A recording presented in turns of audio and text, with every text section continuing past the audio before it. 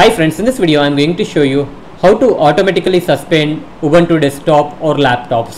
Here is my Ubuntu desktop which is running on Ubuntu 18.04. The procedure is same for laptops also. So to enable automatic suspend at the top right you need to click on this drop down arrow and you need to click on this gear icon. From the left side menu you need to click on power.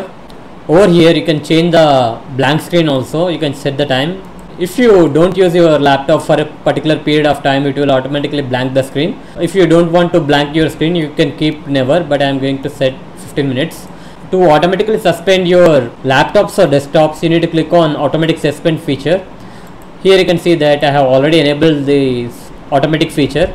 Since i am running on desktop it is giving me only one option. Here you can turn on the automatic suspend feature after setting particular period. I am going to set it for 2 hours if you have a laptop it will give you two more options on battery power or plugged in. You need to set the time for battery power or plugged in. After setting this feature it will automatically suspend after particular duration.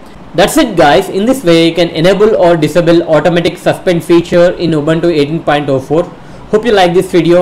Please subscribe to our channel. Thank you.